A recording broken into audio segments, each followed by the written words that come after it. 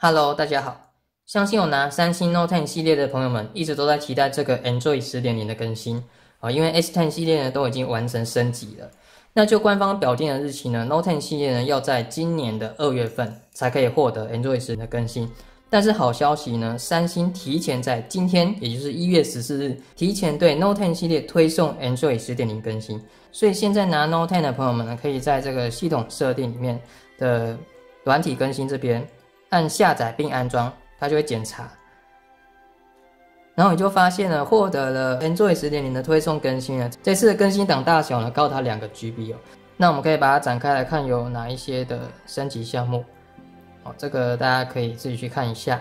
那这种重大更新呢，都还是会有一点风险，比如说可能系统不稳定之类的，所以更新前呢，大家务必要谨慎。那我今天这段影片只是跟大家分享这个更新呢，所以如果你在担心更新完会不会有什么灾情，那你就先不要更新。那如果你想尝鲜的话呢，就跟着艾珍一起来更新吧。现在就按下载。然后顺便一提是，这个三星的更新它有支援下载加速器的功能，所以你可以看到现在是两个网络在下载，只是我这个地方它要调角度，网络才会快。那他现在好像只用 WiFi，他认为我的四 G 不够快，所以他目前是用 WiFi。我觉得我应该让 WiFi 跟四 G 在同时用，哦，所以我把 WiFi 重新开一次。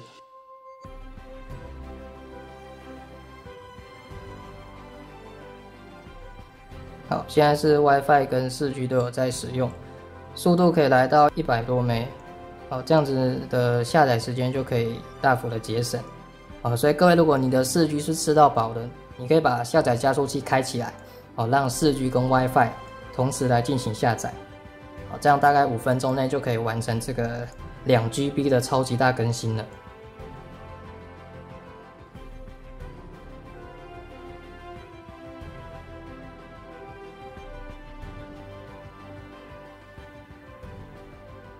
好，现在下载已经完成，我们大概只花五分钟的时间了。好，现在已经可以安装了。那我们现在就点这个现在安装，来升级我们的 Android 十哦。那提醒要升级的朋友们呢，记得先把重要资料做备份的动作。好，这是大版本升级前必须要做的。好，那我们现在就等它安装吧。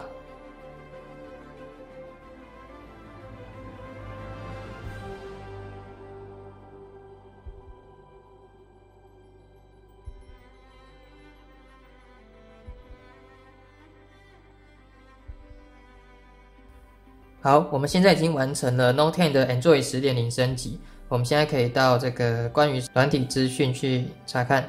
好，可以看到现在已经是 Android 十点零的一个版本了。那到底有哪些变化呢？我们也来稍微研究一下。首先在主画面呢，我感觉好像桌布的颜色有变比较暗一点，然后状态列的时间回到左上角了。不过这是因为我之前有安装那个 Good Luck 的关系，所以可能那些设定的部分要重调。那我们先来看一下相机好了。之前有人说那个万年十秒的封印终于被解除了，所以我们来看一下。哎，这次在设定这边好像有改变哦。你看之前是很多模式去滑动，但是可能因为模式太多种了，要滑很久，所以它现在变成有个更多，然后就变成跟以前的界面一样是用选择的。那我们可以来选择专业模式，然后我们来看一下快门速度。哎，你看，真的有到三十秒了。只是如果它这个档位有更多可以设，还是更好。不然你看，三十直接跳十五，再就十，你没办法调成，比如说十二秒啊、十八秒之类的。好，这是比较可惜的地方。但是呢，万年十秒的封印是真的有解除。然后再你可以看到它选单这些按钮的图示有变得比较大一点，不然之前有点小。哎，那现在我们要怎么回去普通模式？哦，应该是点左下角这个。OK，回来普通模式了。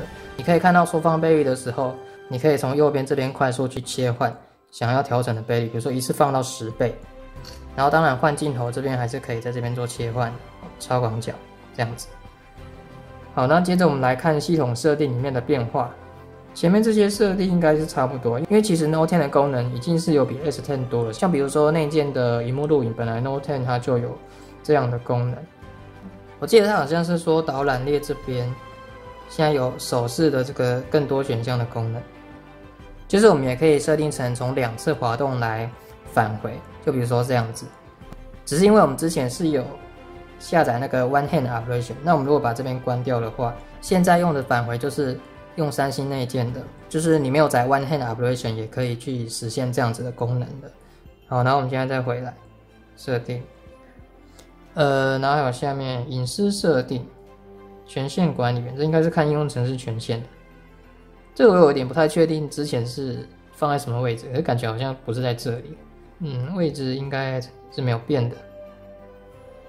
进阶功能，弹出视窗，截图荧幕录影，这个是之前就有的功能。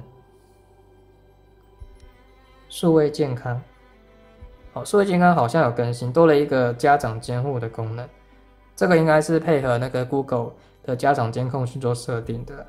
然后数位健康是可以看你每天滑手机在各个 APP 上用了多少时间。之前也有这个功能，但是这个界面它是有做更新的。然后装置维护，哦，装置维护的界面也是全新的。然后电池这边，OK，电池使用状况，以前你只能看上次插头拔掉到现在的情况，但现在可以看到过去七天了。只是更新前的资料它没有进来，呃，就是要从今天重新开始收集。然后其他的应该只是界面长得不太一样。呃，总之就是今天三星 Note 10获得了 Android 十点零的更新。那更多的功能呢，艾珍也还要一些时间去测试。如果有时间的话，我还会再跟大家做分享动作。